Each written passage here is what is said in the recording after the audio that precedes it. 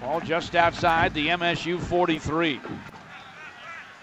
Drew Stanton on third and 11 has five wideouts and takes the shotgun snap. Guns it over the middle. Caught by Terry Love over the shoulder at the 30. He's at the 25. Cuts to his left at the 20. He's inside the 10. Heads for the left pylon. He's into the end zone. Touchdown, MSU. That's a 66 yard strike. Well, you tapped on a, a key moment in uh, my Michigan State career. Uh, so we had just, I don't remember a lot. I've probably been hitting the head too many times, but this is something that always sticks out we just gotten uh, beat pretty handily at Michigan. Um, so we're at practice on Monday. Uh, the following week, just walk through practice, but it rained the entire weekend. Excuse me, weekend. And uh, during practice, I unfortunately tore my ACL halfway through.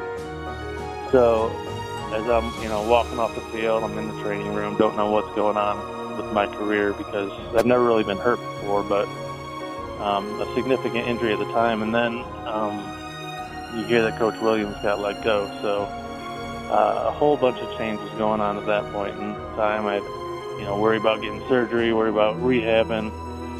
Um, you know, I wasn't really part of the team at the moment just because I was uh, rehabbing so much. So it was, it was a difficult time. I'd never, never given any thought to leaving Michigan State, and that, and that was my home, and you know, it always will be. So.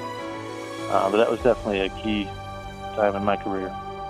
Leading up to the game, Jeff Smoker lost his voice a few days prior to the game.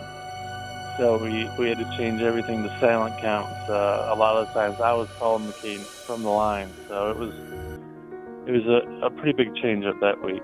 I loved Marcus. He was I think he was a great teammate. Um, I don't know if he lived up quite to the potential or if it was system things or or what it was. He always was great to me. He, I remember one time he gave me the shoes off his feet because I told him I liked the shoes. So great person. I think he was a great teammate. Um, you know, he, uh, you're only a bust if you get picked high. There's a lot of people that don't always fulfill their expectations of them or their personal expectations, but um, I don't know. For me, I like him.